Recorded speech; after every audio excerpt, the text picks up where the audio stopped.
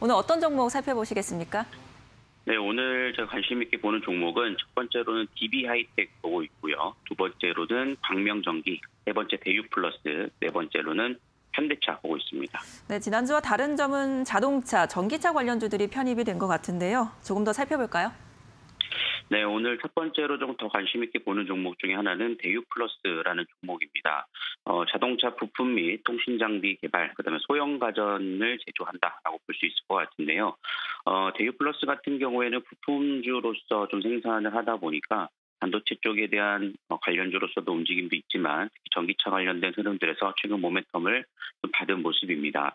어, LG 전기차용 충전기의 부품을 납품을 하다 보니까 전기차로 좀 편입이 되어 있는 모습인데 최근 AKIS와 전기차 사업 협력을 확대한다 MOU 체결이 이루어졌다는 소식들이 좀 전해지면서 외국인과 기관의 동반 매수세가 좀 유입되고 어, 거기에 따른 상승세가 이어졌습니다.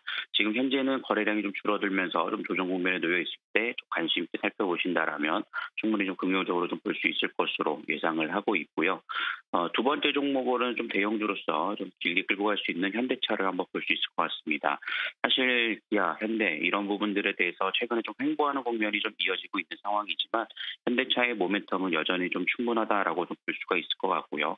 10월 미국 판매가 어, 친환경 차에서 222%좀 증가하는 모습들이 나타나주면서 전반적으로는 차 판매 대수가 조금 감소하는 모습이었지만 어, 긍정적인 흐름이 이어지고 있다라고 좀 볼 수 있을 것 같고 일본 자동차 가격을 좀 넘어서고 있다라는 소식들까지도 전해지고 있는 상황입니다.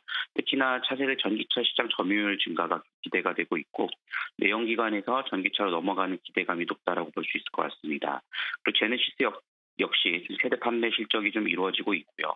어, 최근에 펠리세이드급의 대형 어, 아이오닉 7 전기차가 출시가 예정되고 있기 때문에 거기에 대한 기대감 역시 좀 가져보시면 좋을 것 같습니다. 네, 오늘 말씀도 감사합니다. 네, 감사합니다.